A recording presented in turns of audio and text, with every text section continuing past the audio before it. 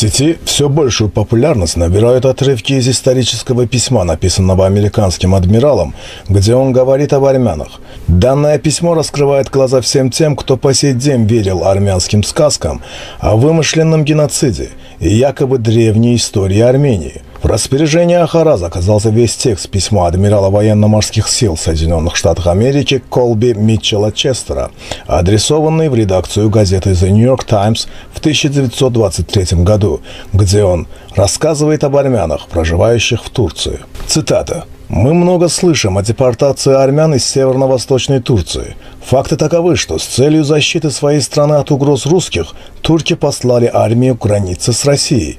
Армия состояла из турецких подданных всех национальностей, так же, как и наша армия в США. На фронте армяне использовали впустую патроны и в массовом порядке депортировали к врагу. Этим предательством они еще не успокоились. В тылу армии располагалась большая провинция с армянским населением. И эти люди, чувствуя, что есть отличный шанс победы русских над турками, решили отрезать контакт с военной базой снабжения. Далее, Честер для того, чтобы американское общество поняло весь масштаб предательства, проводит параллели. Цитата. «Представим себе такой случай. Предположим, что Мексика является мощным соперником нашей страны, с которой мы в состоянии войны. И предположим, что мы послали армию к мексиканской границе, чтобы сдержать вторгающегося врага. Далее, еще предположим, что чернокожие из нашей армии не только дезертировали к врагу, но те, кто остался дома, организованно решили отрезать нашу линию связи.